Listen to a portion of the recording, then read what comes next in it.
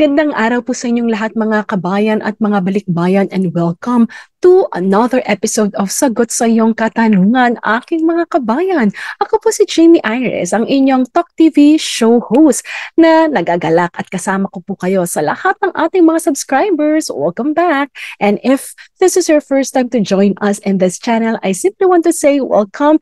At syempre, iniimbitahan ko na rin po kayo to subscribe to my channel. Click nyo na po yung subscribe button at yung notification bell so that we'll always be together kapag may bagong updates tayo about travel, current events at marami pa po tayong upcoming interesting at inspiring videos simply just for you.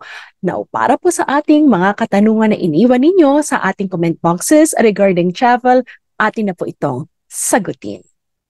Mula kay Jeng Agbones, sabi niya, Hello ma'am, ask ko lang po sa pagbalik ng Pilipinas sa unvaccinated, kung ang result po ay negative, no need na po ba mag-book ng hotel?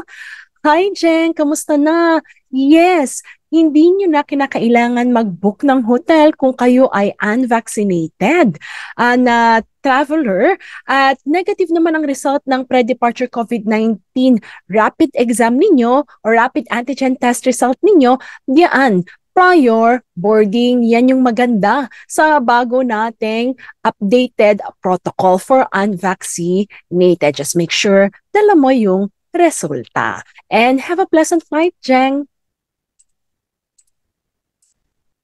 Eto naman, para kay Ensenita Gonzalez, sabi niya, Hi, Jamie, tanong ko lang po, pwede po ba maglabas ng bansa ang unvaccinated at kung po pwede, ano naman po mga dapat gawin? Please respond po. Lagi ako nanonood sa iyo, ma'am. From Anne Gonzalez, Queensland, Australia. God bless po. Hi, Ansenita. At sa inyong lahat yan from Queensland, Australia. Thank you so much for always watching the channel. I'm simply so happy.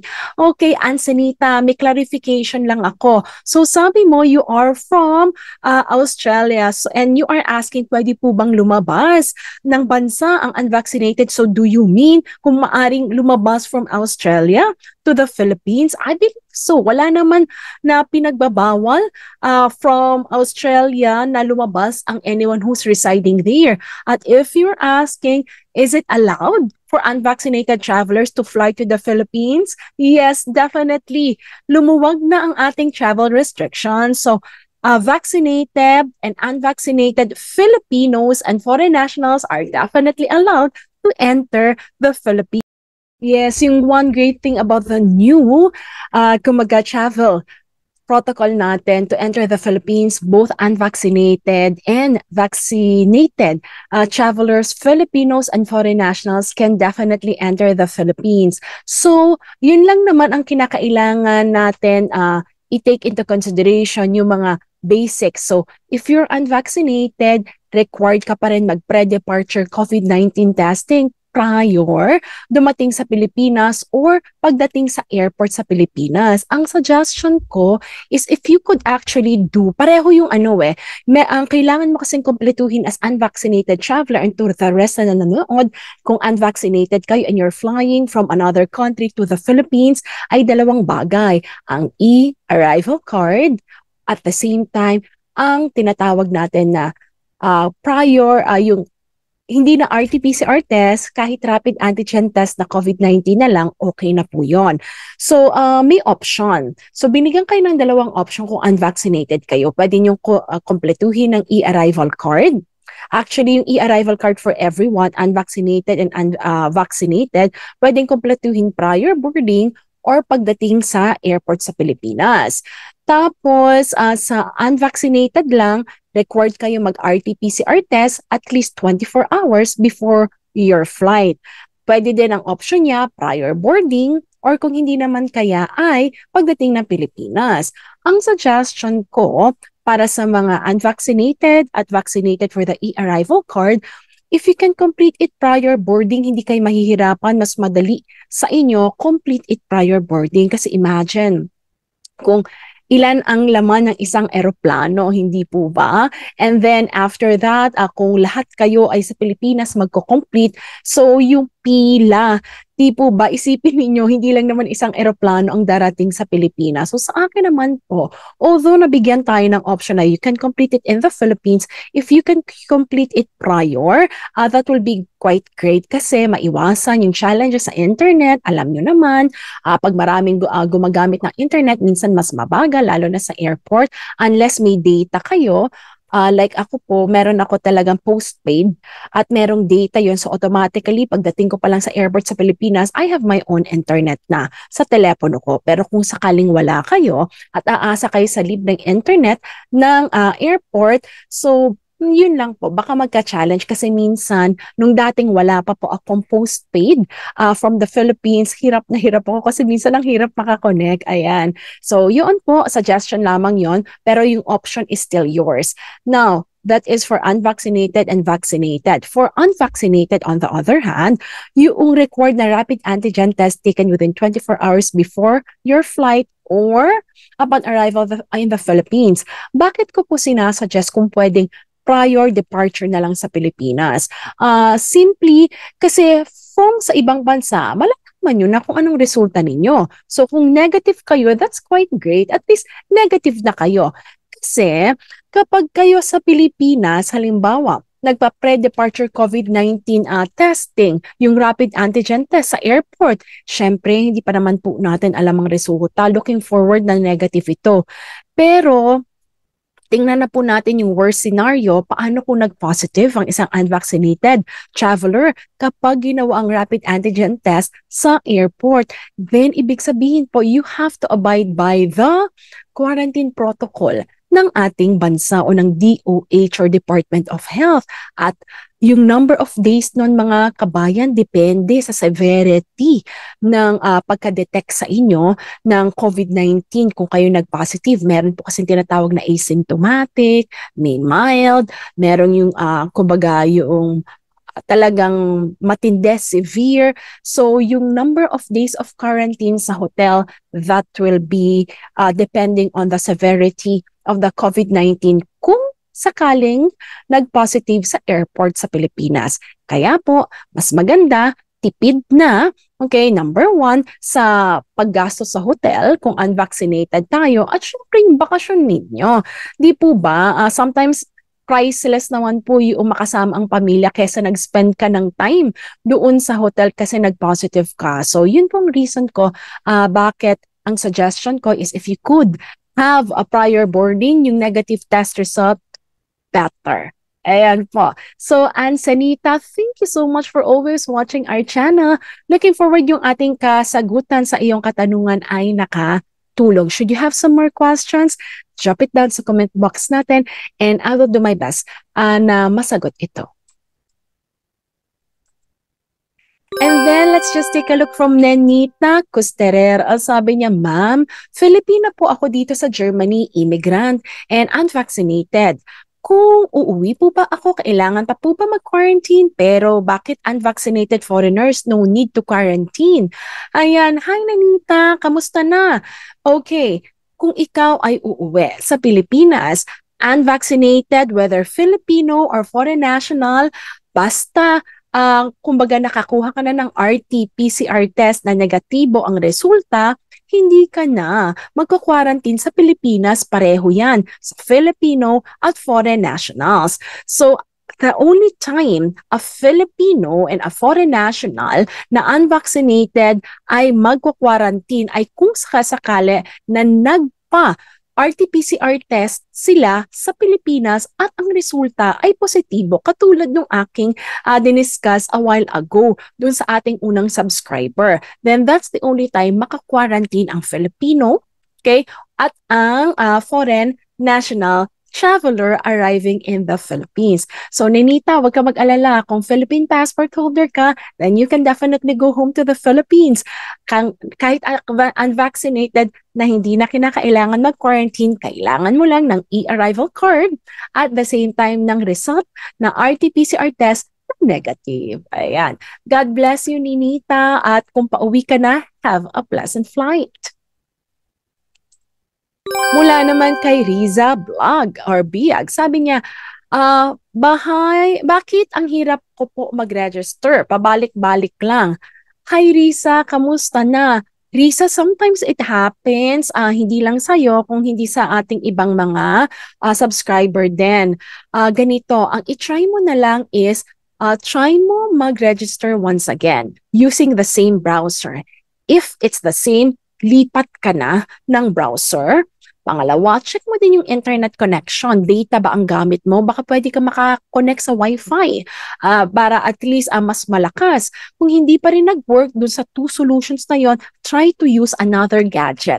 Kung mobile phone ang gamit mo, baka may isa ka pang mobile phone na baka mas madal- mabilis kumonekta, gamitin mo. Kung may laptop ka, then use that as well. Kung hindi, makisuyo ka kung meron kang kakilala uh, dyan sa iyong area na merong ibang gadget para lang matesting mo and it usually works sa marami nating mga kababayan na nagkaroon ng same challenge as yours. Maraming salamat, Risa. May God bless you. Mula naman kay Marites Alcantara, sabi niya, Ma'am, magta-travel po ako sa November 25 by a Cebu Pacific Airline. Fully uh, vaccinated po ako but no booster shot. Tanong ko lang po ba, need pa ba ng RT, PCR test? Hi Marites, kamusta na? Great news, Marites, sa bagong protocol natin na inimplement last November 4, 2022, hindi na. Hindi na kinakailangan ng RT-PCR test kung ikaw ay fully vaccinated without any booster. So you can simply go home, complete the e-arrival card prior boarding or upon arrival in the Philippines. Suggestion ko prior boarding, mas maganda. at mas convenient sa iyo para pagdating sa Pilipinas, scan and go ka na lang at hindi napipila ng mahaba at maari ka nang ma-qualify dun sa express lane na tinatawag nila. And then after that, dalin mo lang lahat ng dokumento mo, yung sa primary vaccine uh, na ating certificate or card na proof of COVID-19 vaccination at yung uh, since wala ka namang booster, yun lang, dalin mo na and other travel documents and then you're good to fly. Ayan, malapit na yan. Ilang weeks na lang, November 25 na. Have a pleasant flight and enjoy your vacation with your family, Marites. Mula naman kay Greg Darrell uh, Peke. Sabi niya, yes po ma'am, fully vaccinated, two boosters. Clean to arrive po ma'am uh, to the Philippines. Yes, exactly. So, katulad ng nasabi ko, Greg, kanina sa ating naunang subscriber, definitely you're uh, clean and ready to arrive in the Philippines e-arrival card lang, kumpletuhin mo na yung prior uh, boarding and other travel documents, and then you're ready to fly and enjoy your vacation here in the Philippines. Ayan. God bless, Greg. Thank you for always watching.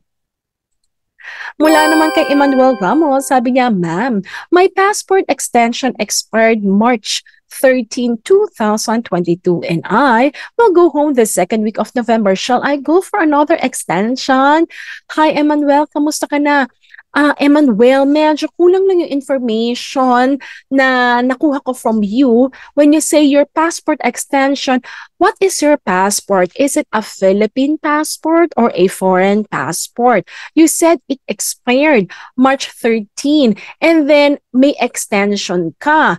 Uh, kinakailangan kasi kung Philippine passport ka, lalo na rin kung foreign passport, valid ang ating pasaporte bago lumipad to another country. Now, the only time na halimbawa ang pasaporting uh, Philippines ay aalaw, halimbawa na lumipad na expired kung may extension na nakatatak. Nangyari sa akin dati yun na nagkaroon ng delay sa Philippine Airport na pag issue ng panibagong passport na hindi aabot sa bakasyon ko. So what they did, uh, yung passport ko na expired, tinatakan nila ng extension. So that was honored naman. Flying to the Philippines and flying out from the Philippines to the uh, country. So if that is the situation sa'yo, yes, you will have to uh, have an extension for your, if that is a Philippine passport, uh, para makalipad ka sa Pilipinas. In ang uh, masasuggest ko na rin, uh, kung as much as possible, uh, tingnan mo yung number of vacation mo kasi kapos na kung November uh, and kung kailan ka makakapag-request uh, na panibagong passport na so that at least uh, hindi ka na magkaka-challenge sa extension. Ngayon, kung ibang uh, passport yan, like foreign passport, uh, depende. So, check mo na lang. Kung may extension yan, siguro tatanungin ka lang naman bakit nag-extend, ba't hindi na lang pinalitan yung pasaporte itself, right? Uh, kung sakasakaling nag-expired siya. So, yun yung possible uh, magiging uh, tanong dyan, lalo na kung foreign passport, uh, holder ka kasi syempre ang kinakailangan pagpapasok sa Pilipinas is uh, kumaga yung valid passport. Pero again, uh, it may be the rules uh, same uh, the same rule will apply kung may extension then it may be honored. Uh, pero again ha siguraduhin mo kasi travel document yan. At ang travel document kapag hindi valid hindi tayo makakalipad. Ayan. So you can call again yung age uh, pwede ang Philippine Embassy kung Philippine passport holder ka and then at the same time maaari ka rin mag-check uh, yan sa airlines. Kung ganun yung situation mo at foreign passport holder ka anong nire-require nila kung sakasakaling extension lang ang meron ka para sure tayo kasi rules nila okay and they will be the one to let you board or not uh, sa eroplano Emmanuel, looking forward that everything will be fine and you can definitely fly and enjoy your vacation in the Philippines. Thank you for watching. At syempre pa, shout out naman tayo dyan sa ating mga kababayan, sa ating mga subscribers na walang sawa na nanonood at nagpapaabot ng inyong pasasalamat sa ating channel. Simula na po natin from Gloria. Mambalo sabi niya, Hi, ma'am, good morning. Have a blessed Thursday and God bless. Thank you so much and have a blessed Thursday too. From Selcan Vlogs, Thank you, Coach Jamie Iris, for the update. Hi, Sel. Kamusta ka na? Naku, malapit na kayong umuwi, di ba? So I'm simply so glad. Enjoy your vacation sa Pinas. From Arl, Marzan, thank you po, Ma'am Jamie. Ang galing niyo po mag-explain. God bless you po. Hi, Arl. You are most welcome. And thank you too for the kind word and compliment. I really appreciate that. God bless you too. At from kay Akiyama Estrella, sabi niya, Hello, Ma'am Jamie. Always watching from Japan po sa mga, thank you sa mga updates. Always take care and God bless. Domo arigato gozaimasu, Akiyama. Talagang appreciate ko ang palagi mong panonood from Japan. God bless and take care as well. Gayon din kay Jocelyn Tenito. Sa sabi niya, always watching Jamie Iris Talk TV. Stay safe and God bless you always. No skipping and watching from New Jersey. At syempre, hello sa inyong lahat dyan sa New Jersey, Jocelyn, and thank you always for watching. At syempre, from Akiyama pa rin, sabi niya, hello Ma'am Jamie, watching from Japan, take care and God bless. And of course, kay Jocelyn, sabi niya, present Jamie Iris uh, Talk TV, be safe. And God bless you always watching from New Jersey. Maraming salamat po. Tunay po nakakapagbigay kagalakan kayo sa akin. Salamat sa suporta, sa encouragement. May God bless you. And I'll see you all uh, in my next video. Thank you. At syempre, sa lahat po ng bagong viewers natin na hindi pa po nakakapag-subscribe sa ating channel, Nais ko pong imbitahan kayo sa aking channel na please subscribe at click nyo rin notification bell so that you'll get updated pag ipago tayo mga video vlogs simply just for you. Laging pagkinandaan saan man po tayong dako ng mundo. Taas noo, tayo po yung mga Filipino. Muli ako si Jamie Iris, ang inyong Talk TV show host na nagsasabi, May God bless you at a pleasant flight sa lahat ng mga upe. Thank you for watching and see you in my next video.